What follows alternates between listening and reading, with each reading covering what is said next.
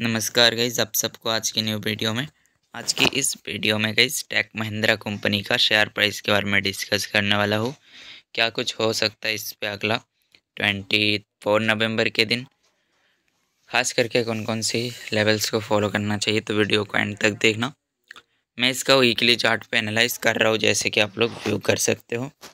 And weekly chart पे अगर देखा जाए लॉन्ग टाइम पे अगर देखोगे, काफ़ी यहाँ पर चला, फिर तेज़ी, फिर फिर अभी दोबारा से तेज़ी आ रहा है इस पर तो जो आप लोग इसका सबसे पहला काफ़ी स्ट्रॉन्ग रेजिस्टेंस फॉलो कर सकते जो कि one thousand two hundred forty point fifteen पे देखने को मिल रहा है।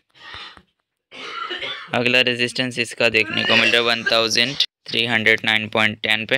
एंड सपोर्ट अगर व्यू करें तो सपोर्ट आप लोग इसका फॉलो कर सकते हो।